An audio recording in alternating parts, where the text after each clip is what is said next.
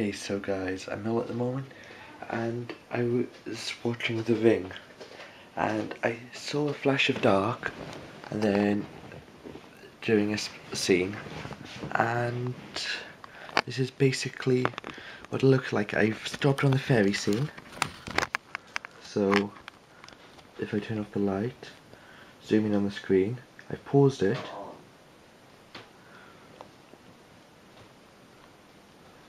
See, look.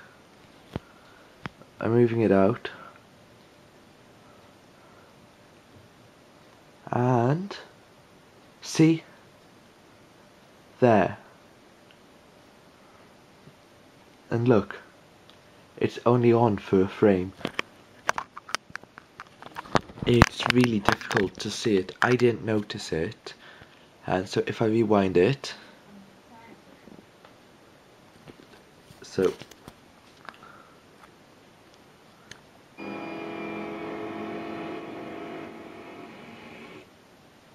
See? That's what it looks like. You don't notice it.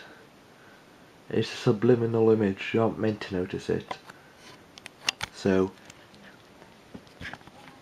freaky bit revealed. And that's my vlog for the day. Bye.